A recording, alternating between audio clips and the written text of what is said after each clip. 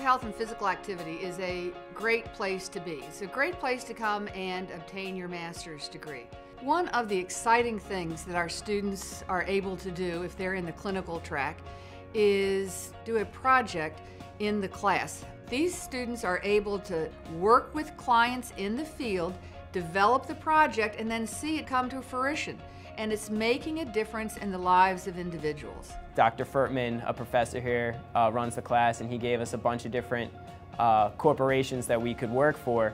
What came up is the Lending Hearts organization as a stakeholder and they wanted to increase uh, social support to kids with cancer. We deal specifically with pediatric cancer patients. So that to me looked like an opportunity for me to be able to involve our students with hands-on work with these, with these kids. Apps are huge nowadays, especially in the medical field. And um, we know when kids are stuck in a hospital, you feel very isolated, very alone. So we wanted to not only help educate them uh, as far as exercise and diet and hygiene, but also incorporate uh, a social aspect. We just want to develop this, this app for maybe for kids to upload their logs, pictures and video clips and let them share their feelings together, share their experience together.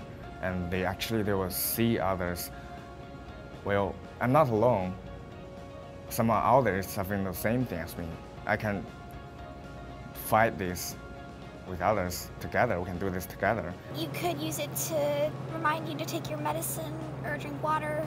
Other people have had the same thing as you and they know what they're going through. So it'd be easier to talk to them. They understand. Our students are our technological wizards. We love that. So I'm going to them for that. I don't know how to build an app. I know what information I want in the app so that I can direct someone um, in terms of what they need to eat and what they need, how they need to exercise and where their medicine is. But our students are really the ones who are driving the app. All the professors here at Pitt, uh, all of my, for, for the School of Education, for, for all the professors that I come in contact with on a daily basis, they'll go out of their way to help you.